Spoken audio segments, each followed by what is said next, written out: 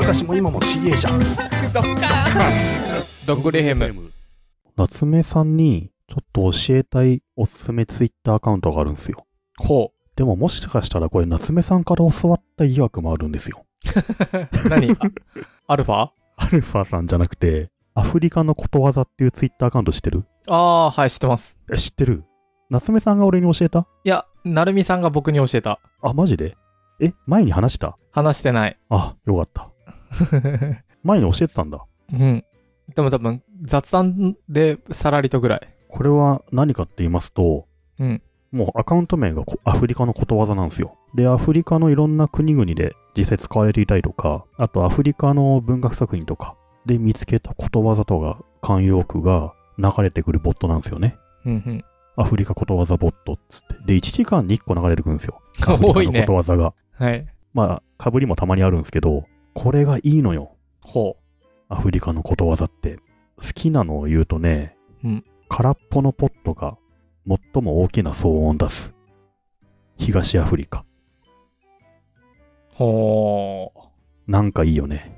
なんかいいよね。道に迷うことは道を知ることである。タンザニア北部。ほおーってなるのよ。う。どんなに魅了されても、ダチョウの卵で遊んではいけない。ジンバブエ。わかんない。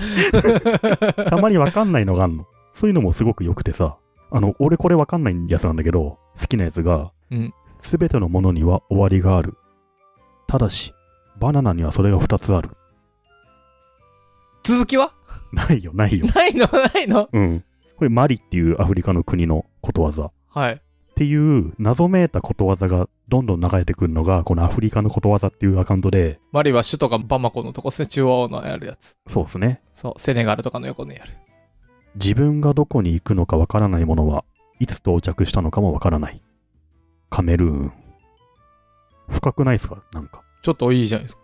斧を使って刺繍をしないように。マラウィ。せやなってなるね、それはね。せやなってな。えー、これ面白いですね。面白あ僕これちょっと聞いたのと違った、気のせいだったかも。これ知らないです。真実を語るのは難しい。もしそれをしたいなら、逃げ足の速い馬に乗ると良い。ナイジェリア。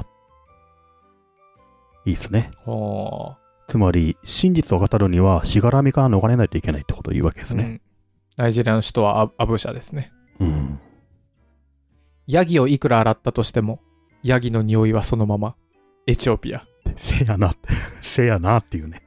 いやいや、でもこれあれじゃないですか？あの、金城和樹豪を彷彿とさせる名前って何？うんバラの匂いを変えても、バラの名前はそのまま。それってもともと、あれじゃないの？シェイクスピアを元にしてるよね。そうですね。いやー、アフリカのことわざはなんかちょっと、例えがプリミティブでいいんですよ、なんか。これ面白いですね。面白いよね。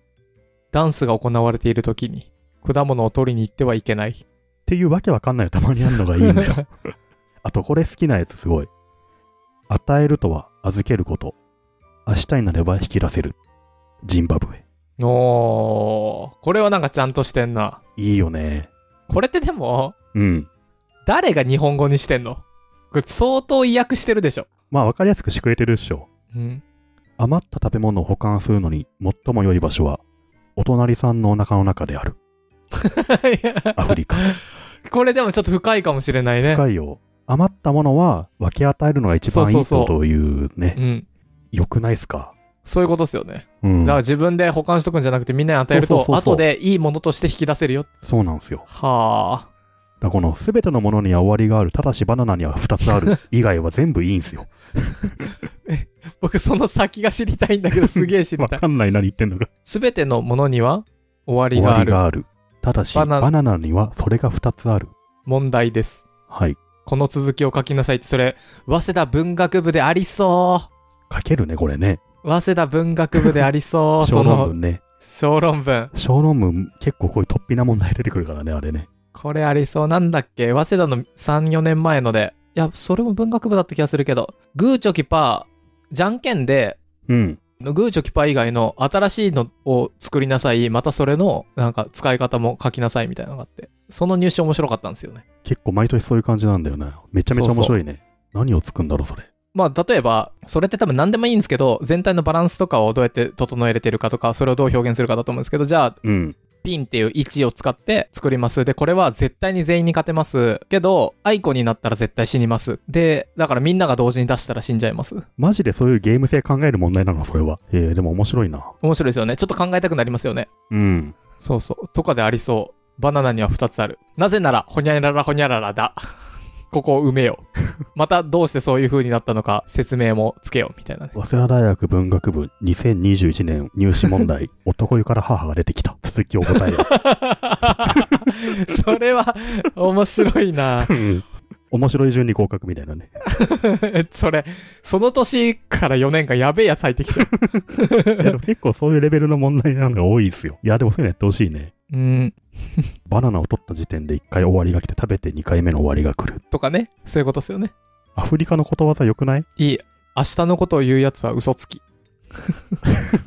まあわかんないからねっていうね。なんかさ、すすげえシンプルだけど深い気がしてさ。あとこれ、なんか米印で書いてあるけど、アラーのみが知るみたいなそういう宗教的な、うんその文脈もあるらしいですね。ああ、そうだね。これいいですね。たまにさ、ツイッターに流れてきて、はい。どんな意味だろうって思い巡らせたりとか、一瞬考えたりとか、楽しいですねあこういう。ことだなとかいうのがすごい好き。急がば回れみたいな安直じゃないのがいいですね。そうそう。しかも羊とかさ、割と家畜登場するのはすごいいいよね。手を洗う。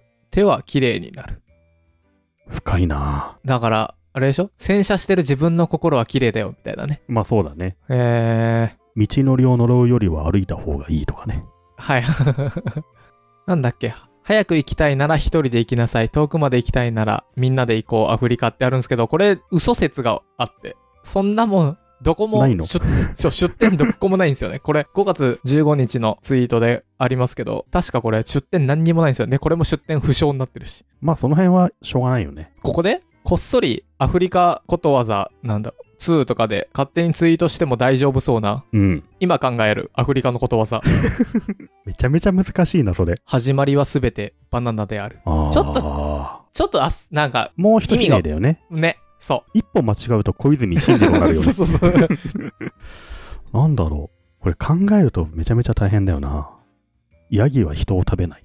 おー人はヤギを食べるってつけるとあああ、いいね。いいね。なんかそうだなってなるね。そうそうそうそう何かを言ってそうだなってなるね。何が置いてそうだなってなる じゃあちょっと足しときたいね。人はヤギを食べるが、ヤギは人を食べない。いいですねアフリカことわざジンバブエ。みたいな。